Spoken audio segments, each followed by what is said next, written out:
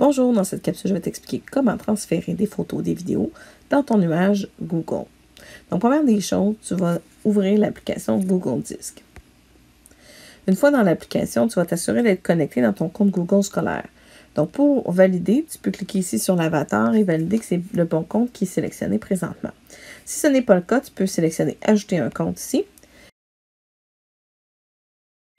et sélectionner ici Continuer et entrer les informations de ton compte Google scolaire. Donc, premièrement, ton adresse courriel scolaire. Donc, une fois que tu as entré ton adresse courriel, tu sélectionnes Suivant et tu devras te connecter avec les informations fournies par ton enseignant.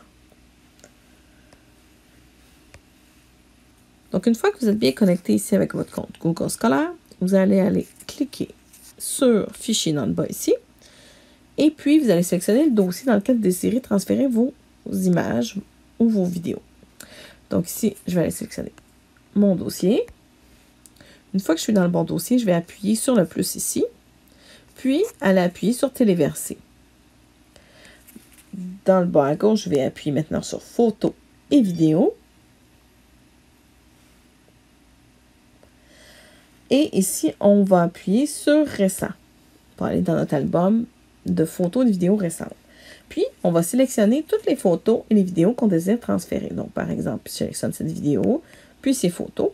Et une fois que j'ai terminé, j'appuie sur Téléverser. Donc, vous voyez que les fichiers se transfèrent et seront automatiquement dans mon dossier qui s'appelle ici Exemple Partage. Donc, voilà comment vous pouvez facilement transférer vos photos et vidéos dans votre Google Drive.